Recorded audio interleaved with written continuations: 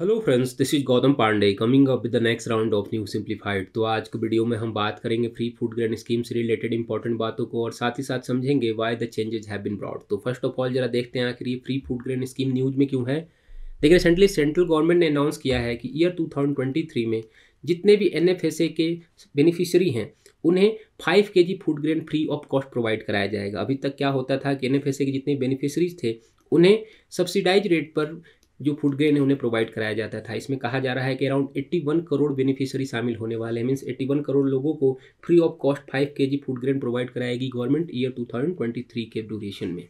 तो हमारे लिए इंपॉर्टेंट ये हो जाता है समझना कि why the changes have been brought government ने आखिर चेंज क्यों किया है? उसे समझना इसका इम्पैक्ट क्या होगा? इसका इम्पैक्ट खास करके गवर्नमेंट पर क्या होगा और जो बेनिफिशियरी हैं, उस पर इनका क्या इम्पैक्ट होगा, उन सारी बातों को समझना तो चलिए शुरू करते हैं। सबसे पहले जरा हम समझते हैं कि गवर्नमेंट ने ये चेंज क्या किया है और क्यों किया है। देखिए फ़र्स्ट ऑफ़ ऑल चेंज क्या किया गया है, उसको समझते हैं। अभी तक क्या होता था कि एनएफएसए के जो जितने भी हमारे बेनिफिशियरी थे, उन्हें सब्सिडाइज अमाउंट पर जो फ़ूड ग्रेन्स थे, वो प्रोवाइड कराए जाते थे। क्या होता था? थ्री रुपीज़ पर के जी राइस प्रोवाइड कराई जाती थी टू रुपीज़ पर के जी वीट प्रोवाइड कराया जाता था वन रुपीज़ पर के जी जो मोटे अनाज वगैरह थे, वो प्रोवाइड कराए जाते थे। ऐसे में गवर्नमेंट ने क्या किया है कि अब जो सब्सिडाइज अमाउंट पर जो फ़ूड ग्रेन प्रोवाइड कराए जाते थे, उसे क्लोज करके गवर्नमेंट ने five K G food grain free of cost provide कराना स्टार्ट कर दिया है। मीन्स अब आपको जितने भी एन के बेनिफिशरी हैं, उन्हें सब्सिडाइज अमाउंट पर फ़ूड ग्रेन प्रोवाइड नहीं कराया जाएगा। अदर हैंड क्या किया जाएगा? उन्हें एक मुस्त फाइव के जी जो फ़ूड ग्रेन है फ्री ऑफ़ कॉस्ट प्रोवाइड करा देंगे। तो ये तो बात होगी कि क्या किया गया है? चेंज क्यों किया गया है, उसको जरा समझते हैं। देखिए, सबसे इंपॉर्टेंट बात क्या है?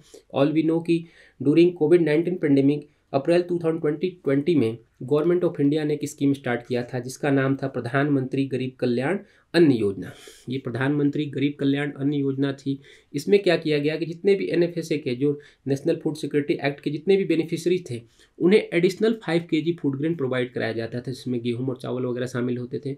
मीन्स पहले तो क्या हुआ कि आपको जो सब्सिडाइज अमाउंट पर जो फ़ूड ग्रेन प्रोवाइड कराए जा रहे वो तो कराए जा ही रहे हैं। अदर हैंड क्या हुआ कि आपको free of cost five K G extra food grain provide कराया जा रहा है ताकि कोविड नाइन्टीन के कारण जितने भी लोगों के जो एम्प्लॉयमेंट खत्म हो गए या फिर जितने लोगों के अदर सोर्स ऑफ़ इनकम थे वो खत्म हो गए, उन्हें फ़ूड ग्रेन की कमी का सामना ना करना पड़े। मीन्स कोई भी इंडियन भूखा ना रहे, ये गवर्नमेंट का एम था।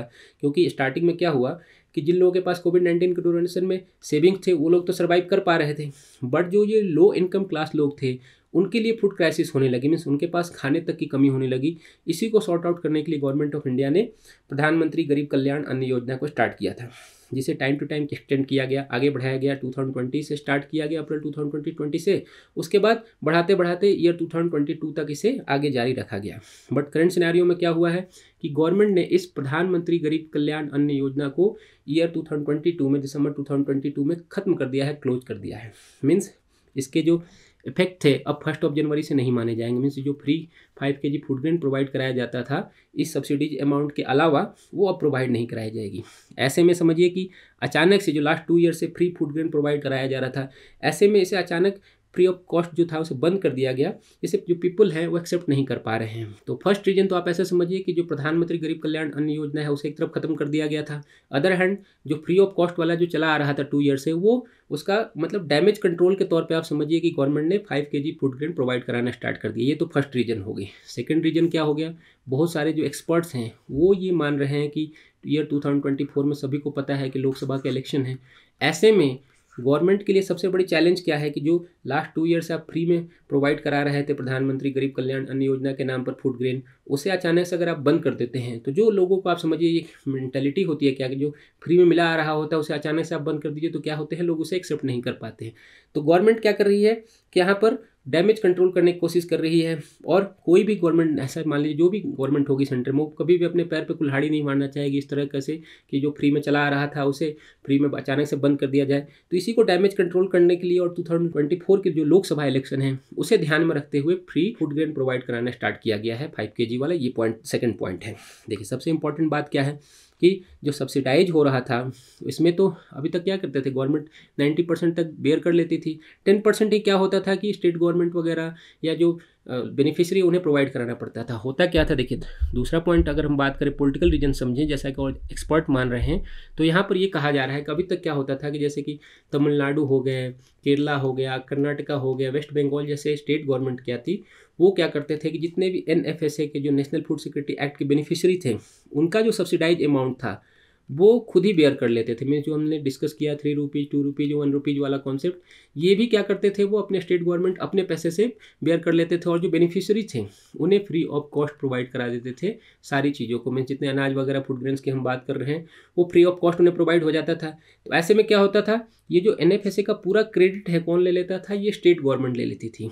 तो अब सेंट्रल गवर्नमेंट क्या क्या था सेंट्रल गवर्नमेंट तो भाई नाइन्टी परसेंट पैसा बेयर कर रही है, क्योंकि जितना भी सब्सिडाइज अमाउंट पे आप समझिए कि कहीं पे भी अगर आपको थ्री रुपीज़ में राइस मिल जा रहा है, एक के जी टू रुपीज़ में वन के जी वीट मिल जा रहा है मीन्स पूरी तरह से सब्सिडाइज है। नाइन्टी परसेंट से ज़्यादा क्या है सेंट्रल गवर्नमेंट सब्सिडी दे रही थी। और जो क्रेडिट था वो कौन ले रहा था? ये स्टेट गवर्नमेंट ले ले रही थी। तो इस तरह की जो क्रेडिट का गेम था, उसे भी हटाने के लिए जैसा कि एक्सपर्ट मान रहे हैं कि सेंट्रल गवर्नमेंट क्या चाहती है कि भाई जब हम नाइन्टी परसेंट पैसा खर्च कर ही रहे हैं तो टेन परसेंट और खर्च कर देते हैं और जो क्रेडिट है, वो पूरा का पूरा कैसे मिल जाएगा? अब मिल जाएगा सेंट्रल गवर्नमेंट को। तो ये भी एक दूसरा कारण है। इस तरह के जो स्टार्ट किया गया है five K G food grain वाला फ्री सिस्टम, ये भी एक दूसरा कारण है। अब जरा समझते हैं हम कि इस सेंटर के डिसीज़न से इम्पैक्ट क्या होगा। पहले तो ये समझते हैं कि गवर्नमेंट पे क्या इम्पैक्ट होगा। अदर हैंड समझेंगे कि जो बेनिफिशरीज हैं, उस पर क्या इंपैक्ट होगा? ऑलरेडी हमने ये तो डिस्कस कर ही लिया कि क्या क्या रीजन है। पहला रीजन है कि प्रधानमंत्री गरीब कल्याण अन्न योजना को खत्म कर दिया गया। तो उसके डैमेज कंट्रोल को पूरा करने के लिए गवर्नमेंट ने क्या किया? Five K G free food grain provide कराना स्टार्ट कर दिया। अदर हैंड क्या किया? कि जो पॉलिटिकल मामला था, जहाँ पर क्रेडिट वाला गेम चल रहा था, वहाँ पर भी क्रेडिट जो स्टेट गवर्नमेंट ले ले रही थी, उसे अब क्रेडिट हटा के सीधे पूरा का पूरा क्रेडिट कौन ले लेगा? सेंट्रल गवर्नमेंट ले लेगी। मीन्स ओवरऑल क्या है? विन विन सिचुएशन किसके लिए है? सेंट्रल गवर्नमेंट के लिए है। कैसे है? जरा उसको आप समझते हैं। देखिए इम्पैक्ट की बात कर रहे हैं तो अगर हम सेंट्रल गवर्नमेंट पर इम्पैक्ट की बात करते हैं तो अभी तक क्या हो रहा था कि जब तक प्रधानमंत्री गरीब कल्याण अन्न योजना स्टार्ट नहीं किया गया था, उसके भी समय मीन्स बिफोर कोविड नाइन्टीन की अगर हम बात करते हैं तो according to government of data NFSA पर जो एनएफएसए चल रहा था, उस पर government around two lakh crore rupees subsidy के तौर पर खर्च कर रही थी। मीन्स जो नेशनल फ़ूड सिक्योरिटी एक्ट है, उस पर गवर्नमेंट सब्सिडाइज जो अमाउंट है, उस पर टू लाख करोड़ रुपीज़ खर्च कर रही थी।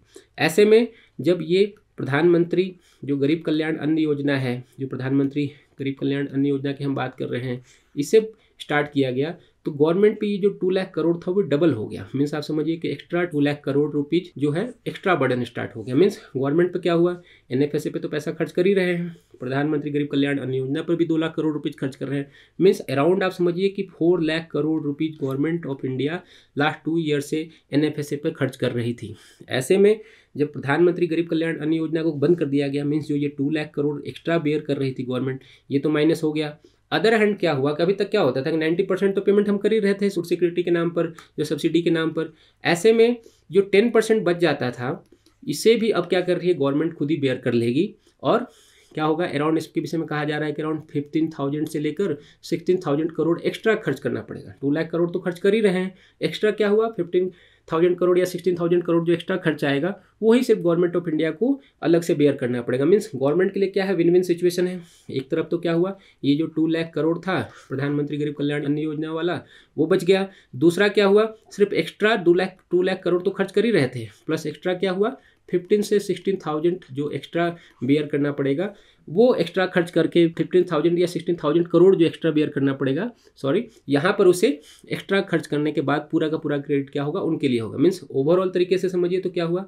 गवर्नमेंट के लिए सेंट्रल गवर्नमेंट के लिए क्या हुआ कि जो बर्डन हुआ ये कम हो गया। यहाँ पर टू लाख करोड़ की सेविंग हो गई और यहाँ पर extra fifteen thousand crore sixteen thousand crore जो भी आता है वो बेयर करना पड़ेगा। मीन्स ओवरऑल तरीके से जो इम्पैक्ट है, ये सेंट्रल गवर्नमेंट पे पॉजिटिव इम्पैक्ट है। मीन्स गवर्नमेंट का जो बर्डन है वो कम होगा। तो ये तो बात हो गई कि भाई सेंट्रल गवर्नमेंट को बहुत ही ज़्यादा प्रॉफिट होने वाला है। और जैसा कि टू लाख करोड़ सेविंग हो ही जाएगी ऑलरेडी दे रहे थे और नाइन्टी परसेंट दे ही रहे थे टेन परसेंट और एक्स्ट्रा दे के क्रेडिट भी ले लेंगे। दोनों ही लेवल पे फ़ायदा हो रहा है इकोनॉमिकली भी फ़ायदा हो रहा है और पॉलिटिकली भी फ़ायदा होगा सेंट्रल गवर्नमेंट के। ये बात हो गई इम्पैक्ट सेंट्रल गवर्नमेंट पे।